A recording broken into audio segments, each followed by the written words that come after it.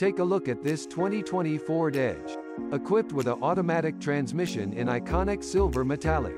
This car comes with some great features including adaptive cruise control, Bluetooth, alloy wheels, Android Auto and more. Come in and check it out today.